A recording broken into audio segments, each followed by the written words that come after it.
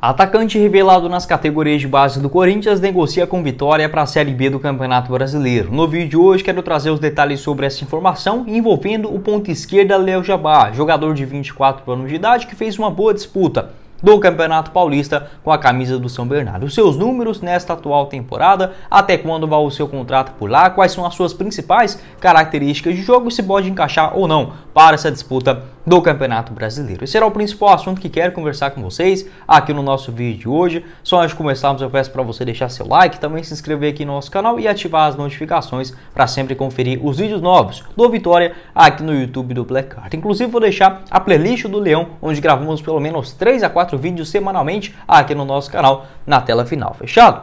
Outro caso que eu quero passar para vocês é da AulePlays.bet, caso de apostas esportivas para você palpitar os jogos da Copa do Brasil e também na Copa Libertadores desta quinta-feira. Teremos aí o Fortaleza enfrentando o Cerro Portenho no Paraguai, essa partida às 7 horas da noite. Além disso, é, na disputa da Copa do Brasil, ótimas cotações também para bons jogos, como por exemplo Grêmio e Ferroviário do Ceará, Atlético Goianiense e Volta Redonda, todas partidas únicas né, na Copa do Brasil, CSA enfrentando o Brusque e também o Vasco recebendo o ABC, esses duelos na quinta-feira na Copa do Brasil. Você pode palpitar também na Copa do Nordeste, reta final dos campeonatos estaduais e a Série B do Campeonato Brasileiro, tudo com a oleplays.bet. O link você encontra aqui embaixo na descrição e também no primeiro comentário fixado. Lembrando que no valor da sua primeira depósito, é, do, do, no valor do seu primeiro depósito, 100% de bônus no valor de até 200 reais. Bora começar o nosso vídeo hoje para falar sobre esse interesse da diretoria do Vitória em contar com o atacante Léo Jabá, 24 anos de idade, pode fazer uma função como um ponto esquerdo, um ponto direita, às vezes até mesmo como um segundo atacante e jogou muito bem a disputa do Campeonato Paulista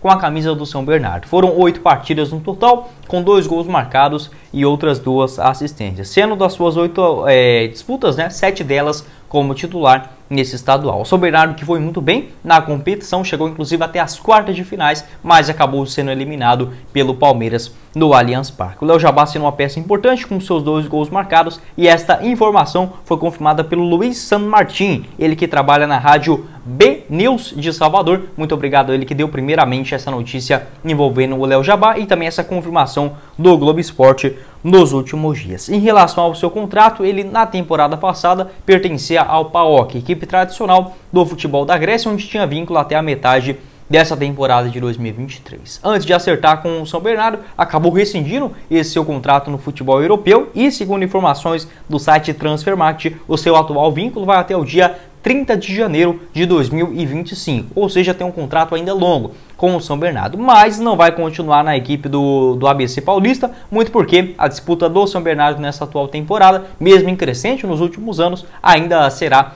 a Série C do Campeonato Brasileiro. Então a tendência é que o Léo Jabá seja repassado a um outro clube do futebol brasileiro com um empréstimo ou possivelmente uma pequena compensação financeira, a não ser que apareça uma proposta extraordinária do futebol do exterior. A tendência é que não aconteça isso nesse momento, mesmo ele fazendo uma boa disputa do Campeonato Paulista na temporada passada. Aí sim, alguns clubes estavam de olho no jogador, até mesmo, por que não, pensando em uma proposta oficial de compra do atacante de 24 anos. No ano passado, em 2022, tanto o Ceará quanto equipes do futebol da Arábia Saudita e do Catar monitoraram a situação do jogador, que na reta final do ano ainda estava no PAOK, né, antes de acertar essa chegada ao São Bernardo na disputa do Campeonato Paulista. É, quero saber a sua opinião, torcedor do Vitória, se você aprova ou não essa chegada do El Jabá ao Barradão, né, para a disputa da Série B do Campeonato Brasileiro, um pacotão de reforços sendo preparados nesse momento para a disputa do Campeonato Nacional. Inclusive, eu já falei sobre o Rafael Vaz, zagueirão do São Bernardo também, com passagens aí pelo Goiás, pelo, é, pelo Ceará, pelo Flamengo, pelo Vasco. Vou deixar esse vídeo também que eu gravei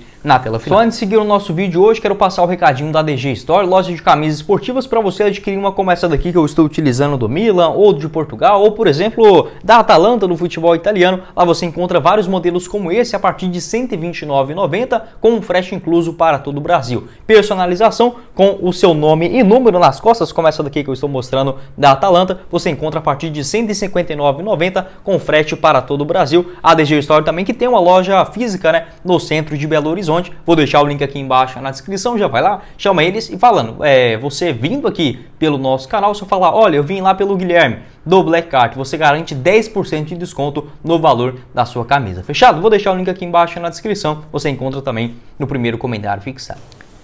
Para falar sobre as principais características de jogo do Léo Jabá, ele vem atuando muito mais na ponta esquerda nessas últimas temporadas, inclusive no Campeonato Paulista. Vou deixar aqui passando para vocês o seu mapa de movimentação segundo o SofaScore nesses seus oito jogos com a camisa do São Bernardo. Bastante velocidade e também protege muito bem a bola. Acho outra boa característica do Léo Jabá, ele tem um jogo físico interessante. Mesmo assim, isso não impede dele ter, por exemplo, boas arrancadas em direção à linha de fundo para puxar um contra-ataque. Além da ponta esquerda, ele pode aparecer, por exemplo, em algumas situações de momento durante a partida como um segundo atacante. Tem uma boa visão de jogo. Acho o Léo Jabá bem interessante nesse quesito também, porque ele distribui muito bem a jogada, seja em passes, pequenos lançamentos, cruzamentos e muito mais. Acho o Léo Jabá é interessante nesse quesito também. Não é aquele ponta só de correria, muito magrinho que corre e dribla é, para todo lado. Não, ele tem essa boa característica também. Agregado a isso, desse jogo de velocidade, muito bom fisicamente para proteger uma bola daqui e dali e também fazendo essa movimentação.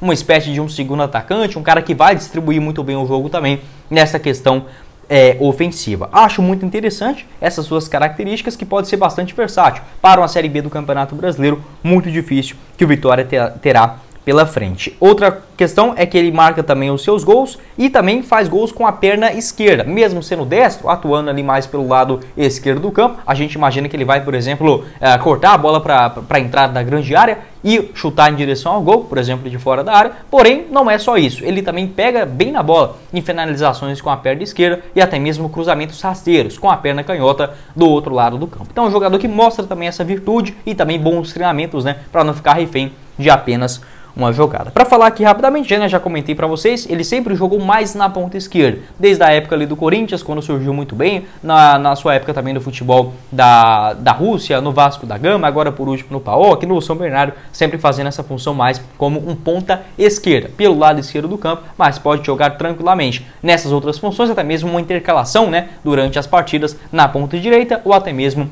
um segundo atacante. Sobre o Léo Jabá, natural de São Paulo, começou a sua carreira nas categorias de base do Corinthians, passou ali no sub-15, sub-17, sub-20 e estreou no profissional em 2016. Com duas partidas, em 2017 foram mais 17 atuações, um gol marcado e logo foi negociado com a equipe chamada Grozny, esse time da primeira divisão do futebol da, da Rússia. Ele é, fez 25 jogos por lá, marcou 3 gols e logo foi negociado com o PAOK da Grécia, sempre somando boas atuações. 39 partidas, 7 gols marcados e 7 assistências, né? Logo no seu primeiro ano. Na temporada seguinte, acabou tendo uma grave lesão, o que impossibilitou dele fazer mais jogos. Apenas 9 atuações na temporada 2019/20. No ano de 2021, começou lá no PAOK com duas atuações e logo foi repassado ao Vasco da Gama, onde jogou a competição que o Vitória terá pela frente nessa atual temporada, a Série B do Campeonato Brasileiro. Foram 38 partidas com 3 gols marcados e outras 4 assistências, né? É, com a camisa do Vasco, sendo 27 jogos na Série B, com é, 14 deles sendo titular. Colocou 3 bolas na rede e lá no Vasco da Gama, aí sim, ele jogou algumas partidas também na ponta direita, mas sendo principalmente esse jogador pelas beiradas, principalmente pela ponta esquerda. Voltou para o PAOK, né, após não exercer esse direito de compra juntamente com o Vasco da Gama, essa opção de compra né, de continuidade lá no Vasco. Retornou na Grécia, foram mais 14 partidas com dois gols marcados e uma assistência. E nesse último pedacinho de ano, né, lá no futebol europeu, fez mais oito, é, perdão, é, não entrou mais em campo e acabou sendo repassado para o São Bernardo, logo no comecinho da temporada, onde tem esse contrato longo. Quero saber também a sua opinião aqui embaixo nos comentários, você torcedor do Vitória, se aprova essa chegada do Léo Jabá para a disputa da Série B do Campeonato Brasileiro. Acho, acho um ótimo jogador, inclusive para a Série A do Campeonato Brasileiro. Não é, por exemplo, um atleta que não conhece a Série B do Campeonato Brasileiro, muito pelo contrário, já tem essa experiência em um grande clube, né, como foi no caso também do Vasco da Gama lá em 2021, então não sentir essa pressão de brigar, por exemplo, pelo acesso, como será a situação do Vitória nessa atual temporada e também vem de bons números. Não é aquele jogador medalhão, muito pelo contrário, ainda tentando recuperar o seu espaço, né? Quando surgiu lá no, no Corinthians, teve, por exemplo, passagens é, na seleção brasileira no Sul-Americano Sub-20 de 2017. Esperava muita coisa dele em âmbito europeu. Por que não? Ainda voltou aqui para o Brasil, rodando um pouco ainda mais, recuperando seu bom futebol. Pode sim voltar para o velho continente. Quero saber a sua opinião sobre o Léo Jabá, se você aprova ou não a sua chegada na Série B do Campeonato Brasileiro. Bom, esse foi o vídeo, eu espero que vocês tenham gostado. Não esqueça de deixar o seu like aqui embaixo, também se inscrever em nosso canal e ativar as notificações para sempre conferir os vídeos novos. aqui no YouTube do Black Card. Vou deixar na tela final também a nossa playlist do Leão aqui no canal, o nosso Instagram, arroba BlackCardFoot, você encontra aqui embaixo na descrição e o link tanto da DG Store quanto da OnlyPlace.bet no primeiro comentário fixado. Quem falou com vocês foi o Guilherme e nos vemos na próxima oportunidade. Valeu, galera!